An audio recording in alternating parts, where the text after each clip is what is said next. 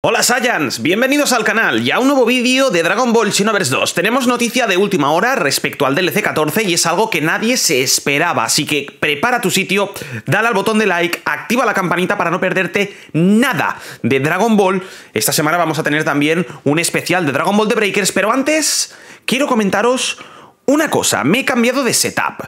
Mis compañeros de FlexiSpot nos han dado una mesa espectacular. Sube sola, es automática. Os la voy a enseñar porque me parece, creo, que el mejor complemento que tengo del setup. Es una mesa que si le doy al botón, como estaréis viendo ahora... Eh, esta sube. La, la mesa está subiendo, ¿veis? La mesa está subiendo. De hecho, baja hasta automáticamente baja hasta automáticamente. Es una barbaridad lo de, lo de, lo de esta, esta mesa, es espectacular. Y quiero enseñároslo en el canal porque creo que merece la pena antes de continuar con este DLC 14 de Xenoverse 2. Bueno, como veis, esta es la mesa, ¿vale? Eh, es tremendamente increíble, ¿vale? Tiene unos soportes abajo, como estáis viendo, bueno, está todo mi cable, mi cablerío, eh, haré un setup, ¿vale? Este, este verano, para, para, que veáis mi nuevo setup. Os tenéis que fijar en el panel este, ¿vale? Porque este panel determina, si yo, si yo pulso, ¿veis? Determina cómo, cómo sube la mesa. Y es tremendamente increíble, ¿no? Cómo sube. Mirad, ¿eh? Ahora está a 77. Yo, por ejemplo, lo bajo y la mesa, mirad, ¿eh? Mirad cómo baja. ¿Veis, no? Hasta 70 de altura. Es tremendamente espectacular, es, es increíble, es decir, tiene una altura máxima también increíble. A mí me ha gustado muchísimo esta mesa, eh, se la recomiendo a FlexiSpot, tenéis aquí el, el... Mirásemos la marca, ¿vale? Es tremendamente espectacular, como estáis viendo, tremendamente increíble.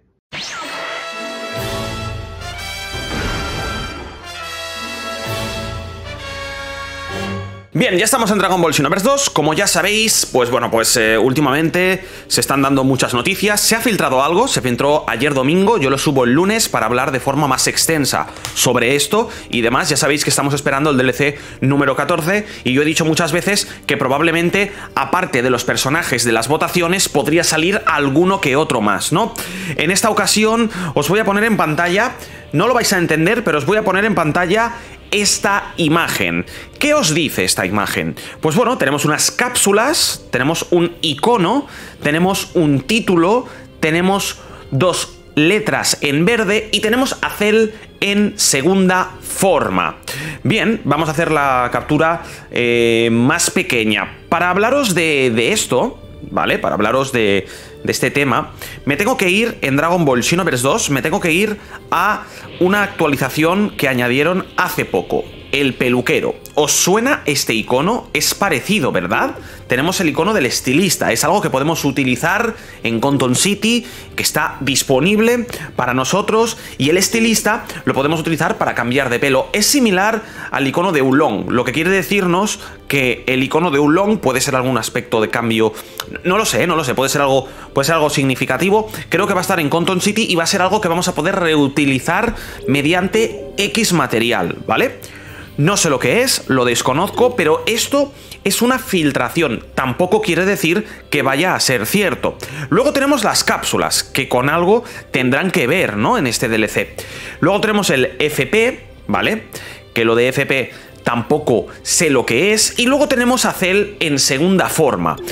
Parece ser que en este DLC podría añadirse el personaje de Cell en segunda forma, segunda fase. Ya sabéis que Cell es un personaje, sobre todo en segunda forma, que no ha estado ni en el Dragon Ball Xenoverse 1 ni en el Dragon Ball Xenoverse 2. Han estado la primera y la segunda. Sinceramente, nunca hemos entendido por qué no han añadido, han añadido a Cell en segunda forma, así como algunas versiones de Freezer que tampoco están.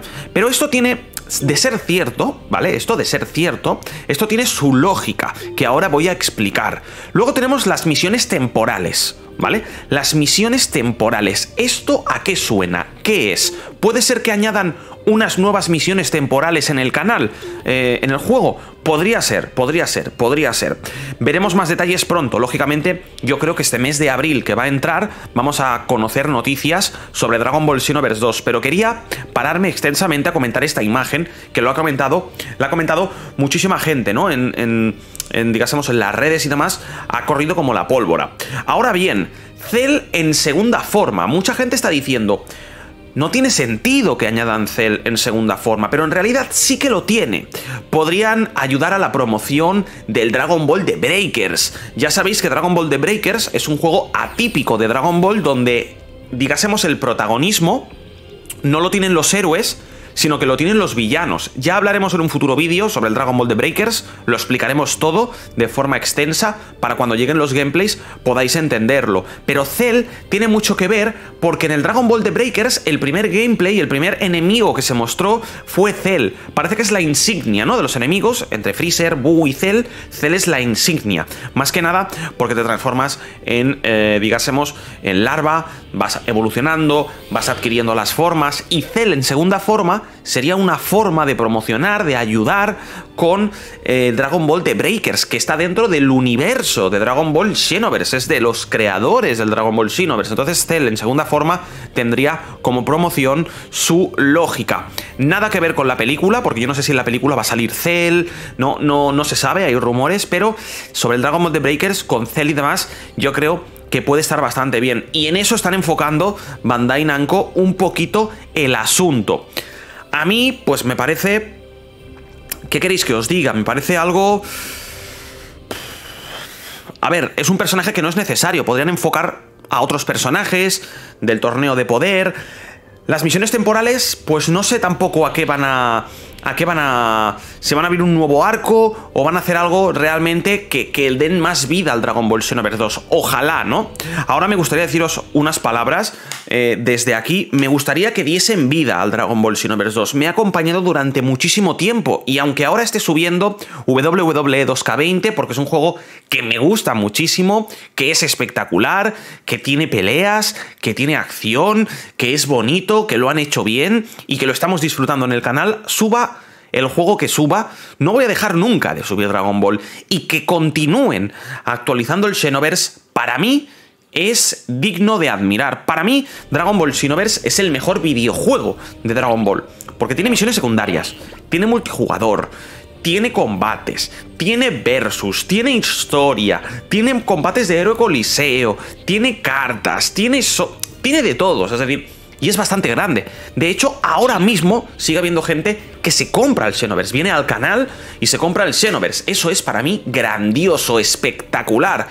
Nunca vamos a dejar de subir Dragon Ball. Está claro que no soy un creador de contenido de Dokkan o de Legends que probablemente de vez en cuando subo en el canal. También me gusta variar porque ocupar todo el tiempo con Dragon Ball... Pero es lo que os digo, tiene algo el Xenoverse que me encanta, que me atrae, que me gusta. Llevamos mucho tiempo buscando una tercera entrega que no sale, pero Dragon Ball The Breakers es del universo de Xenoverse y lo vamos a disfrutar en el canal, ¿no? Aunque no sea un juego típico de Dragon Ball, lo vamos a disfrutar. Vosotros comentarme qué opináis acerca de esta imagen. Muchos de vosotros vais a decir que es innecesario hacerlo en segunda forma, cuando podrían haber metido a alguien de la patrulla Xeno, cuando podrían haber metido algo diferente.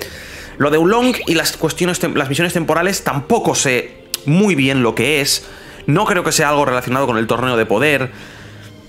No sé, es algo que parece ser han encontrado por ahí. Puede ser verdad o no, puede serlo. Todo pinta a que probablemente sea verdad. Pero estoy muy contento de ver los siguientes pasos de Bandai eh, sobre Dragon Ball Xenoverse 2 ¿Y qué nos van a decir después de este DLC 14? Porque es importante, es importante saber después del DLC 14 qué va a pasar. Eh, tenemos el E3 este año que se va a celebrar. Todos son buenas noticias para el mundo de gaming. Yo me despido, Instant Gaming para comprar juegos súper baratos, canal secundario de noticias. Ahora hemos dado una noticia de PlayStation, podéis ir al canal secundario a verlo. Canal principal, eh, Dragon Ball. WWE 2K22, un juegazo que me gustaría que le dieseis una oportunidad, como le disteis en su día a Dragon Ball Xenoverse 2, donde todo el mundo está disfrutando de mis directos y demás. Gracias por estar ahí, por acompañarme en esta aventura, como hacéis siempre. dale al botón de like, sígueme en redes y nos vemos en el siguiente vídeo. Coméntame lo que te guste y lo que te parezca de este DLC 14, aparte de las votaciones de Cell filtrado. Hasta la próxima. Chao.